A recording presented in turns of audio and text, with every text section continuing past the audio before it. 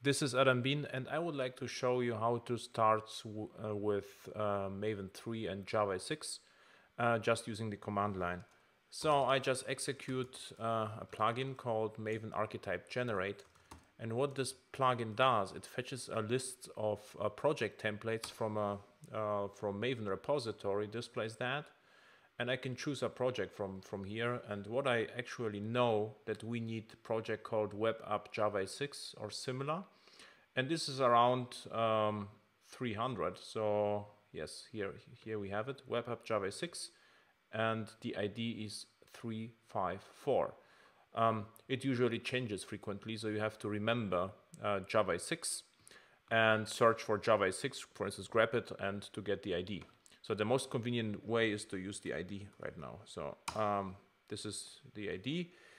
Uh, Maven asks me which um, version number of this plugin to use. I use the version 1.5. Uh, define value for property, group ID, what could it be? In my case is ABien and uh, artifact ID is uh, Maven test. Version 1.0 snapshot is okay, package doesn't matter, and yes, I would like to create the project. So what happened right now, Maven created a project, a folder with the, with the name Maven test. So I change here. So right now, what's inside is just the POM and, and uh, a source folder. So, but what I can do right now is to just to build a project from command, command line. So, um, yeah, it's compiles the sources and builds the war. If I change to the target folder, um, I see the, um, the war archive. So the nice story is now I can open the project with uh, NetBeans, Maven test, and just execute that. So I go here and say uh, run. And of course, this project is NetBeans and Glassfish independent. So NetBeans has to ask me to which server uh, I would like to deploy the project. And in our case, I will just use uh, Glassfish.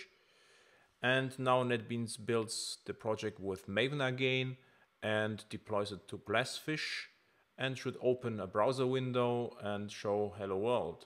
And the hello world is actually deployed um, deployed uh, as a JSP. So if you look inside, that's the cause for uh, the hello world output. Um, it's the project, the Maven project, is just consists of um, you know, the uh, head information with dependencies to Java EE web API. And uh, yeah, this is just usual suspects. You have some compiler plugin um, settings. And um, yeah, the interesting story, it is absolutely independent of NetBeans or, or Glassfish. So thank you. Enjoy hacking uh, Java 6 with Maven 3 and see you on one of the upcoming conferences, projects, or one of my airport hacking workshops. Thank you very much and enjoy developing with Java.